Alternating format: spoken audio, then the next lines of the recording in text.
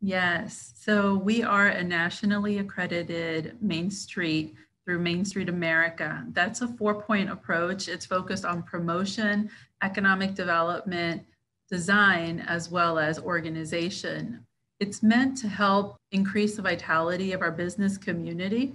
And so we work directly with our merchants within our district